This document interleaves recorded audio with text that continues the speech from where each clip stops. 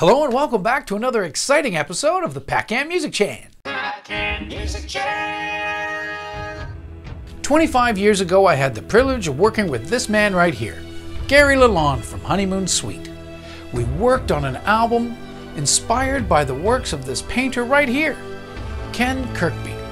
He lived with the Inuit for five years, and then he went on to create a massive painting called Isumataq, right here. It's 152 feet long and 12 feet high, and we toured this and exhibited the painting and also created music.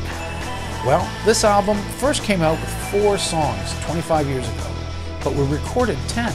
So I'm happy to say that we're now releasing all 10 songs on September 28th. It's going to be available on Spotify, Google Play, Amazon Prime, iTunes, and iTunes Music, of course, and in 150 other stores all across the web. In the upcoming weeks, I'm going to have interviews with Ken, and we're going to explain in more detail what Isumataq is all about and why he mounted this project.